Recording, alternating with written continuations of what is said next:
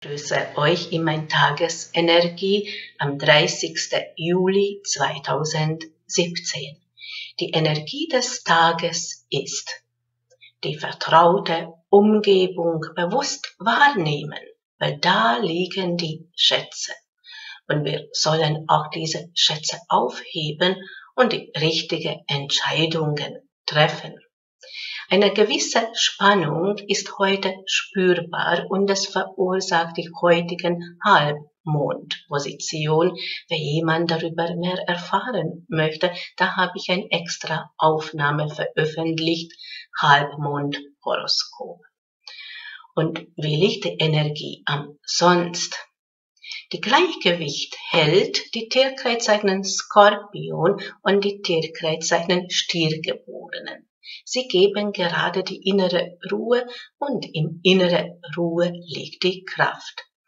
Eine gute Nachricht ist zum Erwarten bei Skorpiongeborenen, aber auch bei Jungfraugeborenen.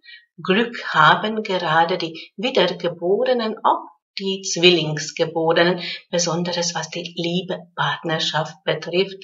Aber die Zwillingsgeborenen sollen sie sich auch frei bewegen, weil sie brauchen gerade Luft.